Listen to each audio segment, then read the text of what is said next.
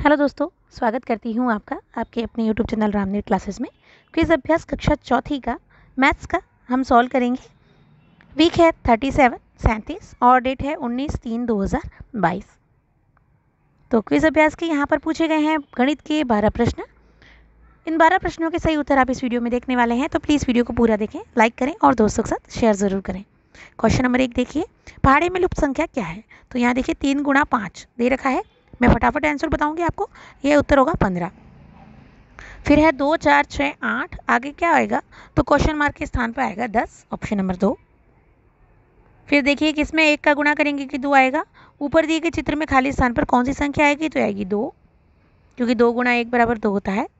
फिर देखिए पाँच कितनी बार है? एक, दो, तीन, चार, पाँच छः छः बार पाँच है तो यहाँ पर है छः बार। पाँच ऑप्शन नंबर तीन सही होगा।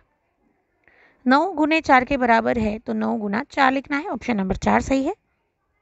फिर देखिए यहाँ पर एक्वेरियम दे रखे हैं। रिमझिम के पास मछलियों के कुछ टैंक है, गुणन के कथन को चुनिए, जो सभी मछली मछली टैंकों में मछलियों की कुल संख्या को दर्शाते हैं। तीन टैंक हैं और प्रत्येक में चार मछलियाँ हैं तो ये जाएगा तीन गुणा चार ऑप्शन नंबर दो। फिर देखिए यहाँ पर कुल सात गमले दे रखे हैं। कुल कितने फूल हैं?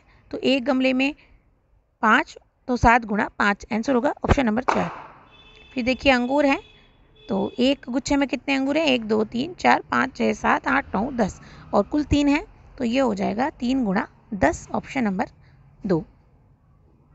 देखिए, संख्या तीन सौ अट्ठासी में तीन का स्थानीय मान क्या है? तो देखिए, इकाई, दहाई, सैकड़ा। सैकड़ा यानी तीन सौ, ऑप्शन नंबर चार सही है। अगला है, निम्न में से किस संख्या में अंक सात का स्थानीय मान सितर है? आंसर होगा eight seventy nine, option number दो। एक सौ अड़तीस में तीन का स्थानीय मान क्या है? आंसर होगा तीस। ऑप्शन नंबर एक। संख्या दो सौ छन्नू में नौ का स्थानीय मान क्या है? तो ये ढाई है तो नब्बे हो जाएगा। ऑप्शन नंबर तीन। इस प्रकार हमने सारी क्विज कंप्लीट कर ली हैं। बारह प्रश्न हमने गणित की, कक्षा चौथी के यहाँ पर हल कर दिए हैं। वीडियो को पूरा देखने के लिए बहुत बहुत धन्यवाद। जल्द मिलेंगे हम अगले वीडियो में।